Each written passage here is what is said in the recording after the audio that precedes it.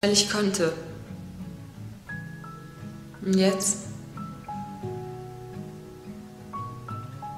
weiß ich nicht mehr, was das soll. Ich weiß nicht mehr. Die Zukunft, wie ich sie sehe, ist ein Warteraum. Eine Halle mit einer großen Bank oder ein Bahnhof. Und draußen gehen permanent Leute vorbei